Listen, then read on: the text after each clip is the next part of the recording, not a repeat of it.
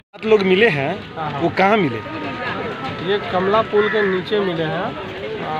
सातों नेपाल के रास्ते से आए हैं नदी के रास्ते से। ये लोग नीचे पुल के नीचे छुपे हुए थे। लोगों को फिर बुला करके ऊपर पूछा गया। इसमें सात आदमी थे जिन लोगों को फिर जयनगर हॉस्पिटल भेजा गया है ट्रीटमेंट के लिए।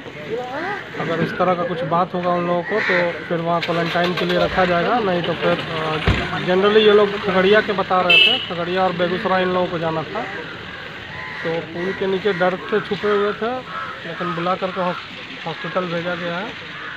हॉस्पिटल से हॉस्पिटल से फिर सारा प्रोसेस करा करके अगर जाने लायक होंगे तो भेजा जाएगा नहीं तो फिर वहीं क्वारंटाइन किया जाएगा। सर आपका परिचय?